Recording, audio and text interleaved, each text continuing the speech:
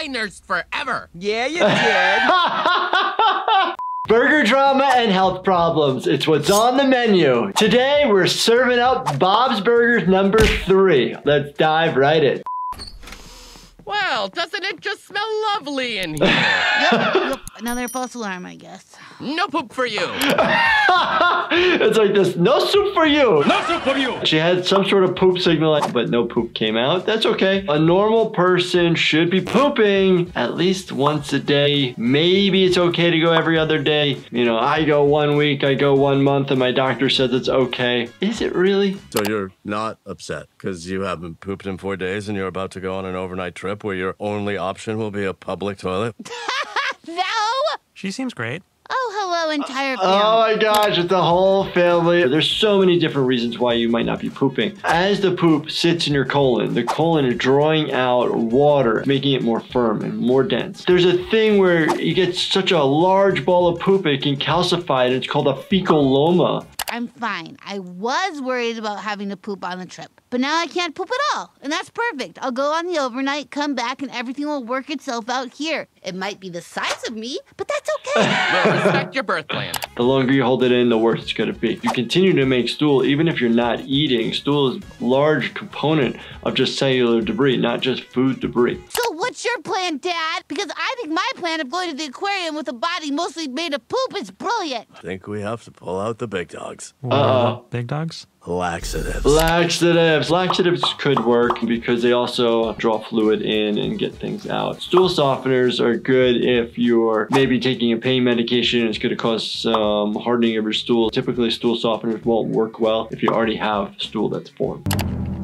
Easy on the bumps. Louise, you wanted to ride in it. I thought you'd pull it better. Well, here we are. Let's see. We'll grab some classic stool softener. Okay. Some fiber powder. So fiber's a bulking agent. Will it make you go to the bathroom if you're already constipated? Plus or minus could make the process worse, especially if you have like a big blockage of poop in your large intestine and then you're bulking it up behind it. Just something to think about. Here's another stool softener. This one has a picture of an old man on it. Must be good.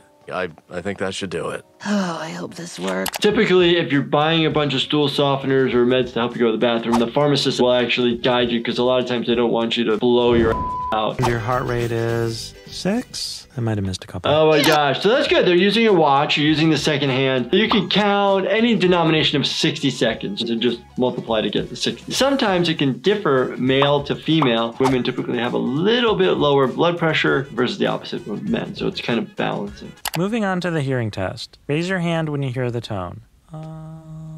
I smell it, but I don't hear it. There's different tests that audiologists do where they have headphones and there's like little pitches of different spectrum of noise. Kids get tested when they're born to make sure that they have good hearing, and then you can get tested as you get a little bit older. Tina, what are you doing? Practicing? I'm earning my Thunder Girls nursing patch by helping out the new school nurse today. If anyone should be getting a nursing patch, it's me. I nursed forever. yeah, you did.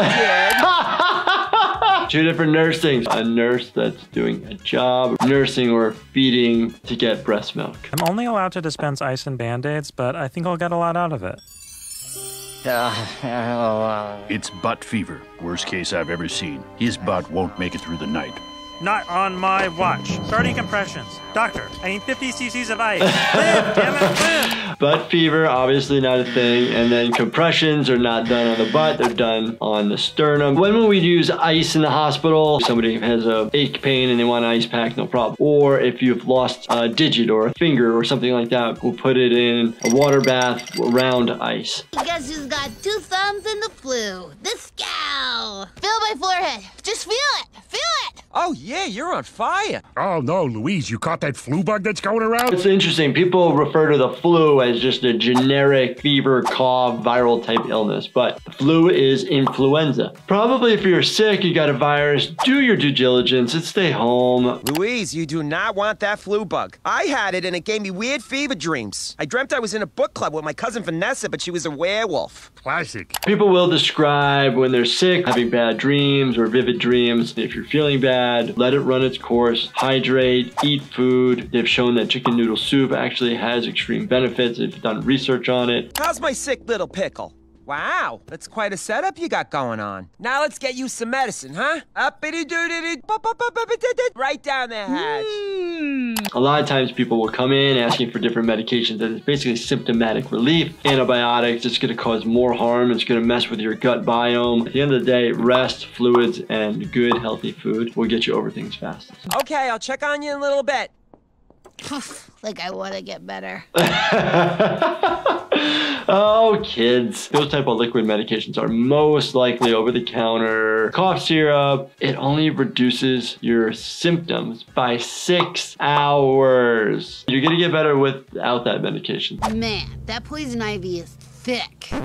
Poison ivy, poison sumac, all these different names. The plant that people can get allergic to. It can cause a gnarly, itchy rash wherever it touches you. Some people don't have a reaction to it, and other people have really bad ones. One person gets it by carrying the rest of us across. So tired, legs itch so much. Look at him, sacrificing himself so that we might live. Why wouldn't you just like use somebody else's t-shirt or something, rip it and wrap the rest of your legs? There are treatments out there to help reduce it. It's not necessarily going to go away immediately. It's going to take at least a couple days for that stuff to go away. I'm just not sure this is the best way to teach kids about mono. I mean, most of the time kissing is fine. Maybe that could be the song. Mononucleosis. Isn't that the kissing disease? We call it the kissing disease because it's like kind of spread viral. It's a virus. You actually can get splenomegaly, which is inflammation of your spleen. That's why when you get mononucleosis, they don't want you to play sports because you increase the risk of getting a splenic rupture. No! I am afraid this student, Mona, is dying. Dying from mononucleosis. Nurse, I need you to write something down. Typically, people are not dying very often of mononucleosis. Yes, there's always the chance for viruses causing long-term issues, but it usually passes on its own without any long-term issues. Yes, doctor?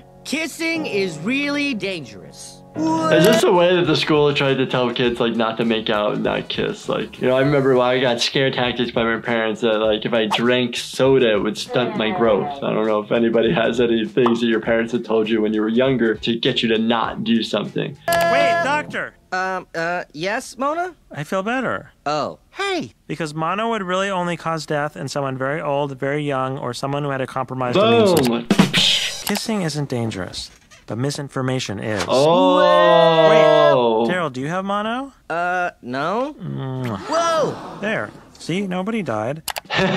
Misinformation happens on you know every stage of our lives. You just have to do your own research and figure out you know for yourself. But the mouth is a pretty gross place. A lot of bacteria, a lot of different things going on there. So it is a pretty dirty place, and we're just sharing it with each other. So just be aware of that as well.